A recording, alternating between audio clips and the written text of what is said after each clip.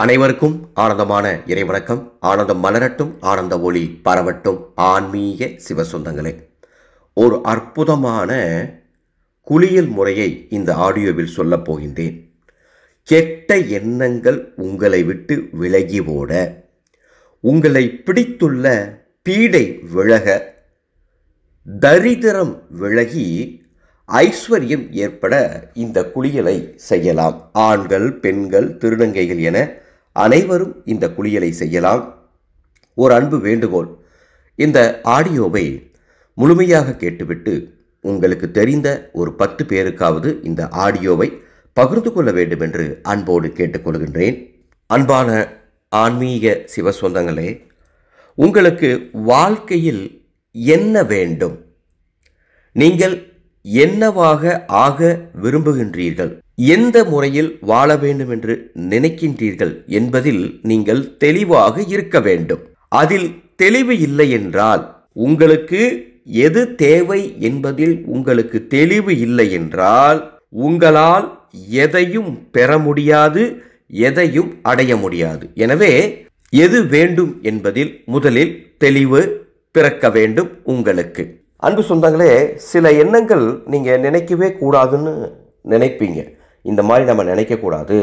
நம்ம வாழ்க்கையில் இந்த எண்ணங்களே நமக்கு வரக்கூடாது அப்படின்னு நீங்கள் நினைப்பீங்க. ஆனால் அந்த எண்ணங்கள் தான் தொடர்ந்து உங்களை பயமுறுத்திக்கிட்டே இருக்கும். அந்த எண்ணங்களே நினச்சிக்கிட்டு நினைக்கக்கூடாது என்ற எண்ணங்கள் திரும்ப திரும்ப உங்கள் நினைவுக்கு வந்து உங்களை சங்கடப்படுத்தும் உங்கள் உற்சாகத்தை கெடுக்கும். இதைத்தான் பீடை பிடித்தல் அப்படிம்பாங்க. அதாவது உங்களது முகமே ஒரு இருளடைஞ்சு இருக்கும். ஒரு தெளிவு இருக்காது. எந்தவித பிரச்சனையும் இருக்காது. ஆனால் முகத்தில் ஒரு பொலிவு இருக்காது.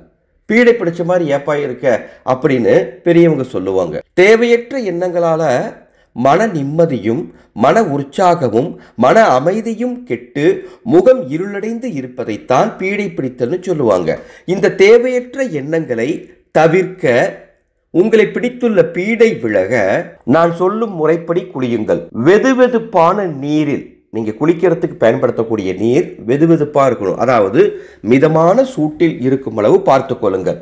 அந்த நீரில் சிறிது வேப்ப இலைகளை போடுங்கள்.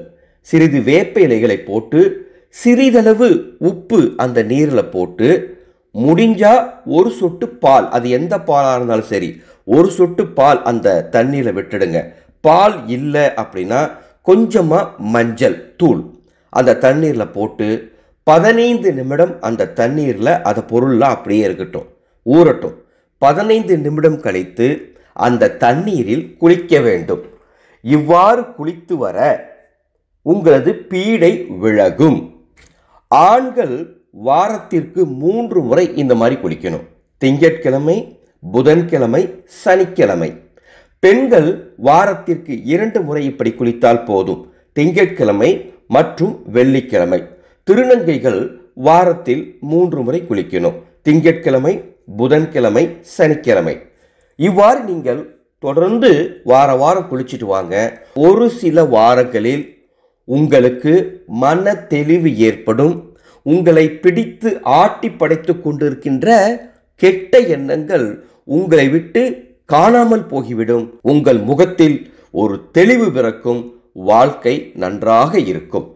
இந்த அற்புதமான ஆன்மீக குளியலை உங்களுக்கு தெரிந்த அத்துணை பேருக்கும் பகிர்ந்து கொள்ள வேண்டும் என்று மிகவும் அன்போடு கேட்டுக்கொள்கின்றேன்.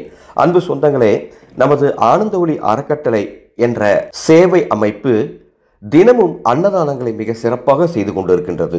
அதற்காக அன்ன சேவா என்ற ஒரு குழுவை தொடங்கி நடத்தி வருகின்றோம்.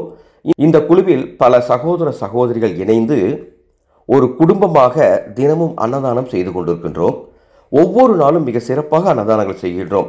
ஒவ்வொரு மாதத்தில் வரக்கூடிய முக்கியமான விசேஷ தினங்களில் மிக சிறப்பாகவும் மற்ற தினங்களில் முடிந்தளவும் அன்னதானம் செய்து கொண்டிருக்கின்றோம். வருகின்ற மாசி மகா சிவராத்திரி அன்று சுமார் ஆயிரம் சிவபக்தர்களுக்கு உணவு தருவதற்குண்டான ஏற்பாடுகள் செய்து கொண்டிருக்கின்றோம். உங்கள் குடும்பம் சார்பாக ஒரு சிவபக்தருக்கு உணவு தரும் செலவை ஏற்றுக்கொள்ள வேண்டும் என்று அன்போடு கேட்டுக்கொள்கின்றேன். இந்த வீடியோக்கு கீழே டிஸ்கஷன் பாக்ஸில் எங்களது அறக்கட்டளையின் வங்கிக் கணக்கின் மற்றும் கூகுள் பே ஃபோன்பே நம்பர் தரப்பட்டுள்ளது. மனமிருந்தால் இந்த அன்னதான திட்டத்திற்கு உங்கள் குடும்பம் சார்பாக சிறிய பங்களிப்பை தாருங்கள். பங்களிப்பை செலுத்திவிட்டு எங்களது வாட்ஸ்அப் எண்ணில் தொடர்பு கொண்டு உங்கள் குடும்பத்தாரின் பெயர் ராசி நட்சத்திரம் சொல்லுங்கள். உங்கள் குடும்பத்திற்காக மாசி மகா சிவராத்திரி சிறப்பு பிரார்த்தனைகள் நடைபெறும் என்பதை மகிழ்ச்சியோடு தெரிவித்துக் கொள்கின்றேன். மீண்டும் அடுத்த ஒரு ஆன்மீக தகவலோடு சந்திக்கிறேன். ஆனந்தம் மலரட்டும் ஆனந்த ஒளி பரவட்டும்.